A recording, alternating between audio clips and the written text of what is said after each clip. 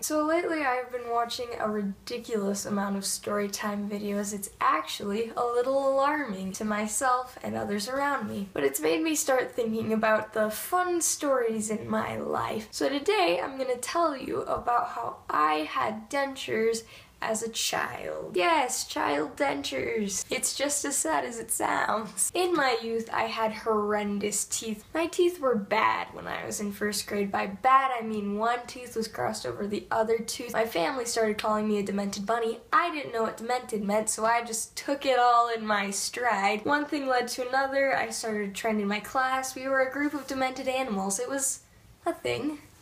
A bad thing, but a thing. Luckily, my dad is an orthodontist, so I didn't really have to worry that much about it. I had braces in first grade and second grade, and then I got them off. My teeth went on as normal, living their little lives, when suddenly these two teeth fell out. And that is when my parents decided to bestow upon me the knowledge that I didn't have new teeth to grow in there. That was it. Physically, no teeth to come in. They were just gonna be gaps. This occurred around fourth grade. Luckily, my creative pops had a plan. He glued my two baby teeth onto a retainer and I wore that retainer every day. But I still took it out for eating food, so I'm really not sure who I was fooling. Sometimes the baby teeth would break because once teeth like fall out of your mouth, they stop being strong. So that was always fun because I'd be late for school in the mornings because I had to get my dentures fixed. It was just the strangest problem to have. Like, who has that? Why? That was a thing for me.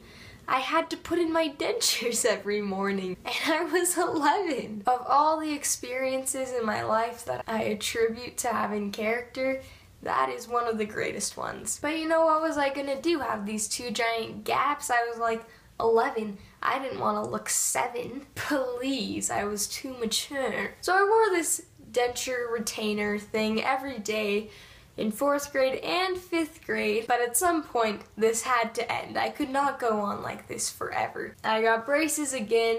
These teeth are actually my canines that have been pulled in the only place that any of this was cool was at the dentist because they thought it was a nifty contraption. Side note, I still go to a children's dentist even though I'm 16. It's getting out of hand, but they love me there. It's a great time. I don't bite them. They give me a sticker. They ask me if I'm gonna be applying to colleges soon.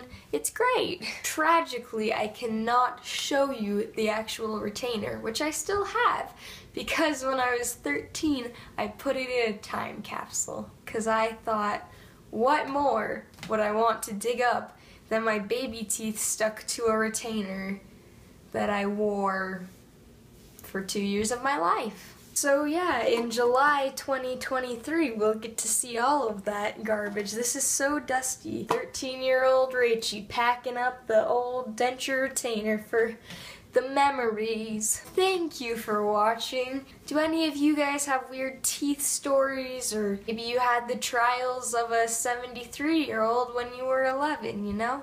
Comment down below. Thanks for watching and I'll see you next time. Bye.